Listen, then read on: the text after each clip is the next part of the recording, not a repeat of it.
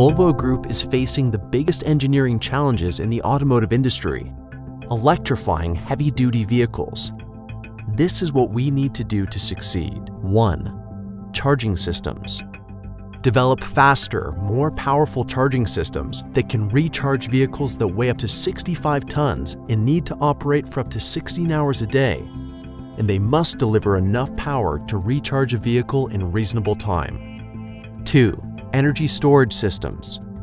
Work with energy storage systems that can maximize the onboard kilowatt hours despite limitations in weight and space. Our vehicles can have up to six batteries as opposed to one in a passenger car. We need to develop systems that can manage them concurrently. 3.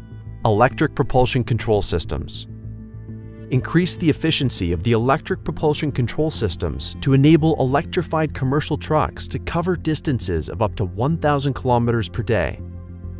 4. Motor drive systems. Develop solutions for more efficient motor drive systems, including motors, inverters, and software, which will enable our drivelines to deliver the right speeds, torque, and power required of a heavy-duty truck. These are all big challenges. Solving them requires big talent.